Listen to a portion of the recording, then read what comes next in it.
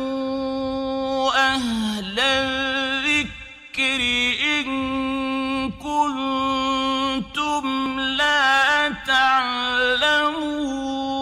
تعلمون গ্রুপে প্রশ্ন করেছেন আমাদের সম্মানিত বোন আসিয়া বিনতে মালিক বোনের প্রশ্ন ছিল পৃথিবী ধ্বংস হওয়া সম্পর্কে এবং আহ, ফেরেশতাদের যান কবজ সম্পর্কে তিনি কখন কোনো বইয়ে পড়েছিলেন যে সকলের যান কবজ হবে, এমনকি মালাকুল মৌত যিনি যান কবজ করেন, তারও যান কবজ হবে। তবে তার কথা তিনি উদ্ধৃতি দিয়েছেন, উল্লেখ করেছেন যে তিনি এই কথা বলবেন শেষে যে, আমি যদি জানতাম যে যান কবজে এত কষ্ট, তাহলে আমি মানুষের যান কবজ করতাম না।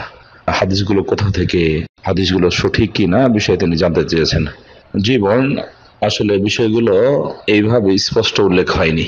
ওলামগন বলেছেন ফেরিস্তাদের যান কবজ সম্পর্কে যে ঘটনা আমরা শুনে থাকি, এগুলো উল্লেখ হয়েছে ইবনুল কাইয়িম রহমতুল্লাহ আলাই তার কিতাব রয়েছে বুস্তানুল ওয়াইজিন ও রিয়াজুসামিঈন এই নামে কিতাব রয়েছে, সেখানে তিনি উল্লেখ করেছেন যে সবকিছু ধ্বংস হবে, এমনকি চারজন ফেরিস্তা তখন বাকি থাকবে সর্বশেষ।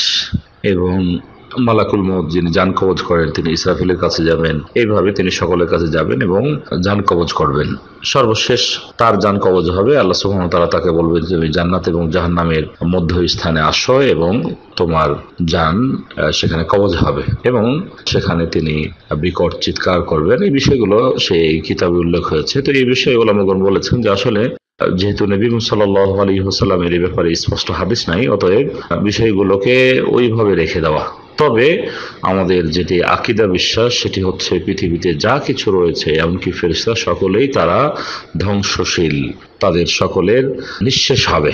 কেননা আল্লাহ সুবহানাহু বিভিন্ন সুরার বিভিন্ন আয়াতে বলেছেন, বিশেষ করে সুরাত কাসাস।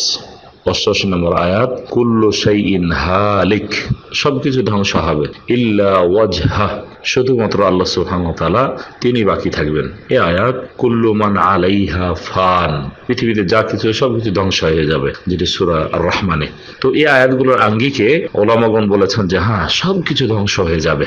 শুধুমাত্র আল্লাহ সুবহানাহু ওয়া তাআলা বাকি থাকবেন। তবে তাদের জান কবজ, ফেরেশতাদের জান কবজ কীভাবে হবে, এমনকি মালাকুল মতের জান কবজ কীভাবে হবে, স্পষ্ট হাদিস দিয়ে বর্ণিত হয়নি। তবে কিছু কিছু হাদিস এসেছে যেগুলো জয়ীফ হাদিস।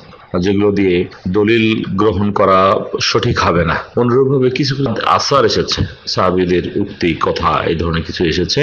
তো যেহেতু নবী সাল্লাহ আলী সাল্লামের স্পষ্ট হাদিস আসেনি, বিধায় বিষয়টি সম্পর্কে আমরা নীরব থাকব। তবে আমরা বিশ্বাস স্থাপন করব যে হ্যাঁ আল্লাহ ওয়া ছাড়া আর কিছুই বাকি থাকবে না। সব কিছু ধ্বংস হয়ে যাবে।